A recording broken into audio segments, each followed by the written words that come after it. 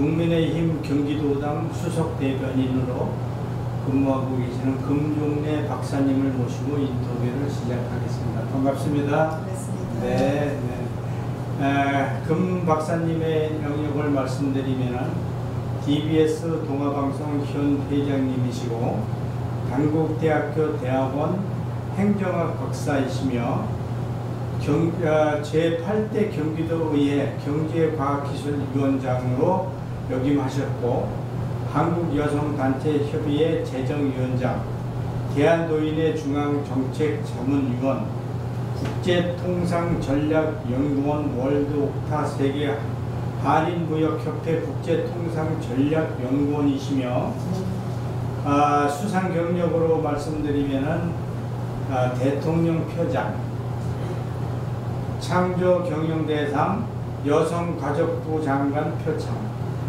대한민국 창조 경영 대상, 나눔 실천 대상, 바른 지도자상, 저서로 말씀드리면은 여섯 번째 시집 찬란한 봄, 아, 봄날을 기다리며 왜 7권을 출간하셨습니다. 네. 많은 일을 하셨는데 오늘 국민의힘 중앙여성위원회 수석이신 금종래 박사님을 모시고 아, 인터뷰를 바- 아, 반갑게 맞이하겠습니다. 반갑습니다. 네, 반갑습니다. 감사합니다. 네, 네, 네. 네, 많은 일을 어, 화성 시민에게 발전을 위해서 많은 일을 해오셨는데 아, 박사님의 에, 화성 시민에게 드리고 싶은 인사말부터 시작을 해볼까요? 네네. 네. 그렇게 하자. 안녕하십니까. 어, 존경하고 사랑하는 화성 시민 여러분. 특별히 제가 살고 있는 화성시 갑 서쪽에 있는 시민 여러분. 저는 정말 어, 여러분의 은혜를 잊을 수가 없습니다. 왜냐하면 저는 화성에서 태어나서 한 번도 화성을 떠나보지 않고 지금까지 화성에 살고 있습니다. 그리고 여러분이 저를 키워주셔서 여성인데도 불구하고 이 척박한 정치, 문화, 사회 속에서 저를 이미 2002년도에 지금으로 말씀드리면 한 21년 전에 저를 여러분의 손으로 지역구 대표로 경기도 의원을 뽑아주셨고요. 그것도 한 번이 아니고 두 번씩이나 재선 도의원으로서 열심히 지역을 위해서 일할 수 있는 그런 기회를 주신 여러분이 기, 길러주시고 키워주신 화성의 딸 금종예입니다. 그래서 저는 제가 살아가는 평생 동안 화성을 여러분을 잊을 수가 없습니다. 그동안 어, 제가 여러 가지 일로 그동안에 뭐 학교 일도 바빴었고요.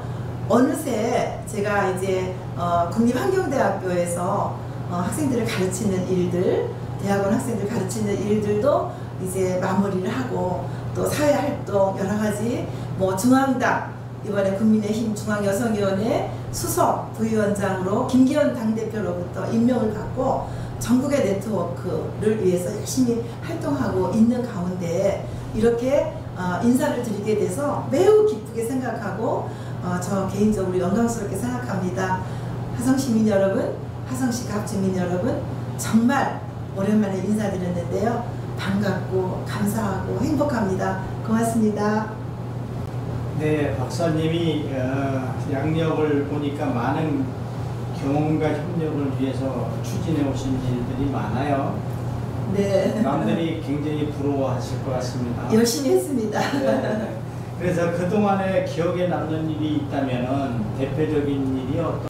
네, 저는 어, 제가 가장 기억에 남는 일이라고 하면 제가 경기도 의원으로 선택이 되고 나서 가장 큰 민원을 해결한 것이 기억에 남는데요. 그 일은 곧 어, 주민의 그 재산권, 생명과도 같은 재산권을 지켜줬던 일이 있는데요. 어, 사례를 말씀을 드리면 어, 향남이 신도시가 1지구가 생기면서 기존에 있던 향남 아파트가 87세대가 있었어요. 그리고 그 아파트가 유일한 아파트였는데 어느 날 이제 신도시 계획을 발표하고 어, 이렇게 그 LH에서 그림을 그리는 가중에 어, 당연히 향남 아파트 87세대가 처음에 기초 작업 때 도면에 들어가 있었거든요. 그래서 이제 주민들은 당연히 아, 신도시에 편입이 된다라고 생각을 했는데 어느 날 갑자기 본인들한테 연락도 없고 그냥 배제되어 있는 거예요. 그래서 깜짝 놀라서 어, 대책 향남 택지개발 대책위원회를 꾸리고 그분들이 모여서 어, 국회의원 그 현직에 있던 국회의원이라든지 아니면 국민 구청 처리위원이라든지 여러 가지 뭐 시의원 도의원 말할 것 없이 여러분들한테 찾아가서 민원 제기를 했으나 경기도도 마찬가지고요. 그게 해결이 되질 않았어요. 그러던 차에 제가 2002년도에 당선이 되면서 저를 도왔던 그 사무장님이 계셔요. 그 사무장이 한기환 위원장님이신데 아, 그 사무장님이 여러 가지 지역사회 활동도 많이 하셨는데 그분이 오셔서 어, 이런 애처로운 어, 물론 그분의 집도 거기에 들어가 있었는데 애처로운 사정을 말씀해 주시길래 제가 맞다 이 일은 내 일이다 내 집이다 생각을 하고 처음부터 제가 시작을 하기 시작했습니다. 그래서 어, 공무원들 분한테 처음에 있었던 그림 설계도를 가져오라고 하니까 공무원들이 안 갖다 주려고 그래요. 그래서 왜안 갖고 와라 그래가지고 처음에 저는 그렇게 큰 도면을 본 적이 없거든요. 아마 지금 이 제 사무실에 있는 이 테이블만큼 커다란 도면 안에 처음에 들어가 있던 그림을 제가 발견을 하고 그때부터 시작해서 경기도지사님을 만나고 어, 건설교통국장을 만나고 주민과 함께 그렇게 시작해서 3년이 걸려서 결국에는 주민들이 원하는 그러한 그 신도시에 편입되도록 하는 일을 결과물을 냈더니 아, 거기 대책위원들이 저한테 박수를 치면서 의원님 너무 감사하다고 저한테 어떤 이렇게 사례를 하려고 하던 차에 제가 어, 한강히 거절하고 저한테 정 주고 싶으면 그뭐 마음만 받겠다고 했더니 공로패를 하나 해주셨는데요. 그 공로패가 제가 대통령 표창을 받았던 그 상보다 저는 지금도 가슴이 울렁거리고 참 보람 있는 영원히 기억에 남지 않는 지금도 가끔 전화가 와요. 그 주민들이 의원님 뭐 하고 계세요? 이러면서 어, 지금도 우리가 그때 이야기를 어, 얘기하고 있다고 그런 소식 들었을 때 저는 참 보람되고 오래 기억에 남는 일이라고 생각이 어, 되어집니다. 뚝심이 있고 경험이 있는 금박사만이 해결할 수 있는 일이었네요. 네. 네. 아, 대표적인 성과가 결과가 또 그거 말고도 있다면은 또 부족한 일이 있었다면은 아, 현재까지 해온 일에 대해서 정리를 조금만 해주시겠습니까? 물론 그 성과를 낸 일도 있지만 어, 성과가 안 된 일들도 있죠. 근데 저는 이렇게 생각합니다. 무조건 의원이라고 해서 어, 요즘에 좀 많이 없어지긴 했는데 뭐 갑의 입장, 을의 입장 그런 것들이 옛날에 좀 공존했지 않습니까? 그래서 민원 주민들의 민원이 다 들어줄 수 있는 게 있고요. 아니 법으로 저촉되는 것이 있습니다. 그렇다라고 하면 법으로 저촉되는 것을 도와줄 수는 없다고 저는 생각합니다. 그래서 왜 그러면 이 문제가 해결이 안 되는지에 대한 그런 이야기들을 저는 그냥 묻어두지 않고 주민들한테 반드시 피드백을 통해서 이거는 이렇게 이렇게 이렇게 해서 노력했지만 이거는 법상으로 안 되는 문제이기 때문에 어쩔 수 없습니다. 다른 방법을 찾아보시죠 하고 했던 일들도 있습니다. 그러나 조금 더 노력하면 정말 정말 노력하면 되는 일도 있더라고요. 그런데 모든 일들은 이렇게 생각합니다. 뭐 모든 일들은 되는 게 있고 안 되는 게 있는데 그냥 뭐 누구나 똑같이 뭐 되도록 하는 거 그죠? 되도록 하는 것은 누구나 할 수 있어요. 그러나 되게 하는 것이 저는 중요하다고 생각합니다. 그래서 저는 민원이 발견했을 때 발생했을 때마다 반드시 피드백을 통해서 공무원들한테 전화하고 찾아가고 그렇게 해서 되도록 일을 했는데 아, 안, 가, 안 풀려진 문제들은 제가 생각했을 때 뭐 법에 저촉되지 않는 한 거의 다 저는 민원을 해결했다고 그 생각을 하고요. 한 가지 이거는 뭐 민원은 아니고요. 제가 아쉬움이 있다면 어, 동서 간의 갈등이 아주 화성은 심한데요. 어, 동쪽은 신도시 개념, 서쪽은 아직 어, 구도시 개념으로 있지만 발전 가능성이 있고 가장 희망이 있는 도시가 저는 화성에서도 갑이라고 생각을 하는데 어, 그동안 저희가 당협이 조직이 많이 무너진 상태로 있습니다. 그래서 조직위원장이 당협위원장이 없다 보니까 1년 반이라는 시간이 흐르고요. 그 다음에 권력이라는 것, 힘이라는 것은 어떤 파워에서 이동되기 때문에 저희가 그 기존에 있던 보수 성향이 강했던 화성갑의 당직자들이 고위 당직자부터 해서 당원들이 많이 민주당 쪽으로 옮겨갔어요. 그리고 어떤 이들은 자기의 권력을 찾아서 어, 탈당을 하고 뭐 그 당에 가서 어떤 직함을 갖는다든지 이런 일들이 있는데 굉장히 가슴이 아픈 사연이고요. 하루속히 우리 화성갑에 어, 이런 조직이 빨리 꾸려져서 어, 내년 총선에 좋은 결과를 가져오도록 했으면 좋겠고 물론 저도 조직위원장을 신청해 놓고 기다리고 있는 그런 입장입니다. 그런 많은 아쉬움이 남는데요. 하여튼 잘 되기를 기다리고 있습니다. 되도록 해야 된다는 그 명언은 참 듣기가 좋았어요. 그 네. 앞으로도 많은 기회가 있을 텐데 네. 좋은 일이 있기를 바라면서 네. 아, 역할에 대한 어, 대변인도 말씀을 하셨고 여러 가지가 있었는데 이 정치를 한다는 것은 참 남녀를 불문하고 어려운 과정도 있고 참 힘든 일들이 많은데 네네. 가정에 조력자가 있다면 어느 분이 가장 조력자가 될까요? 저는 가정의 가장 조력자 1호 하면 저는 어, 제 편을 들고 있는 저희 어, 내 편, 내 편. 저는 저희 남편한테 꼭 내 편이라고 얘기합니다. 왜냐하면 남의 편을 들어준 적이 없어요. 꼭 제 편만 들어줬고요. 또 여성이 정치하도록 굉장히 많은 배려와 또 가사 일도 어, 같이 이렇게 일가정 양립을 같이 하도록 이렇게 많은 배려를 해줬고요. 그 이유는 어, 저희 남편은 어, 미공군에서 어, 비행기 관제사를 했었고요. 또 통번역관을 했기 때문에 그 저희 남편의 사고 방식은 어, 굉장히 그 미국식이라고 할까요? 하여튼 열린 마음으로 여성이 사회에 참여하고 특히 정치에 참여하는 거에 대해서 굉장히 응원해주고 격려해주고 어, 많은 뒷받침을 해줬기 때문에 제가 오늘날 지금까지도 정치를 하고 있다고 생각이 들어지기 때문에 어, 저희 남편 전일성 장로님이 어, 1호의 조력자라고 말씀을 드릴 수 있고요. 두 번째로 조력자가 누구냐 그러면 전부 가족이죠. 어, 저희 자녀들이 정말 엄마가 최고야. 제가 선거 때 지역구 출신이니까 어, 이렇게 뭐 운동을 하러 나가면 아이들이 제 명함을 가지고 우리 엄마 최고예요 하고 이렇게 외쳐줬을 때 어, 우리 아이들에 대한 고마움, 어, 그 다음에 시집의 식구들, 그 다음에 지금도 눈물로 기도하는 살아계신 우리 친정 엄마 김진분 권사님은 정말 엄마의 그 눈물의 새벽 기도가 아, 진주처럼 보석처럼 빛나서 오늘 제가 있다고 생각 들어지고요.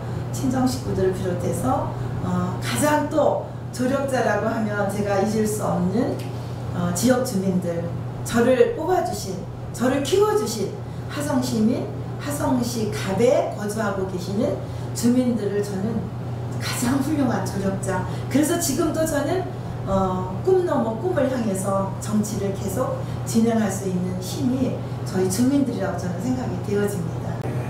조력자 참 부러운 얘기입니다. 네. 행복한 얘기고 그 조력자가 영원한 조력자가 됐으면 좋은 희망을 갖고 네, 있습니다. 네, 지역구 발전에 나쁘점도 있을 수 있고요. 지금 현재 아, 국민의힘, 국힘에 대한 문제점도 물론 있을 수 있지만 지켜만 보고 있을 수는 없잖아요. 네, 맞습니다. 네, 개선이 돼야 되고 낙후된 점을 발전도 시켜야 되고 네, 최종 마무리하는 김에 지역 개발 발전과 23년도의 계획 네. 또 기- 그 이외의 의견을 한번 종합적으로 말씀해 주신다면은 네, 바라볼 수만 없습니다. 그리고 어, 되는 대로 할 수가 없습니다.